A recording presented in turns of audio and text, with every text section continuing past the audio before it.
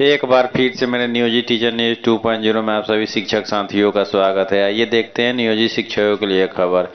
वेतन विसंगति दूर नहीं हुई तो होगा आंदोलन। संघ के द्वारा दिया गया चेतावनी। देखेंगे वीडियो को विस्तार से। उससे पहले मेरे नियोजित टीचर न्यूज़ 2.0 को अभी तक सब्सक्राइब नहीं किया तो कृपया चैनल को सब्सक्राइब कर ले और बेल आइकन अवश्य दबा दे नोटिफिकेशन ऑन कर दे ताकि शिक्षा विभाग से संबंधित कोई वीडियो अपलोड करें तो उसका नोटिफिकेशन मिले सबसे पहले आपको।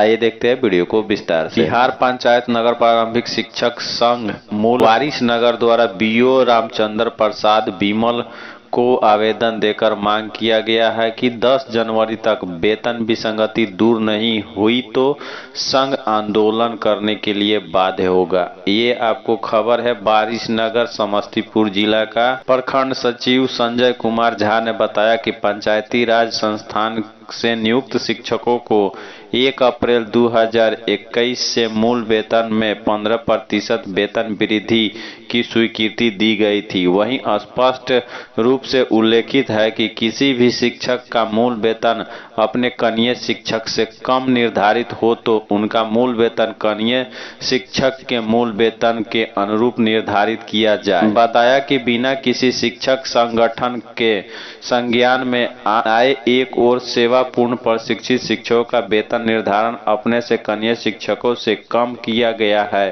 तो दूसरी ओर इग्नू से डीपीई किए गए सत्र सात नौ वाले शिक्षकों को सूचना के अधिकार के तहत दी गई सूचना सत्रांत परीक्षा की घोषित तिथि के विपरीत तिथि से वेतन निर्धारण कर दिया गया है।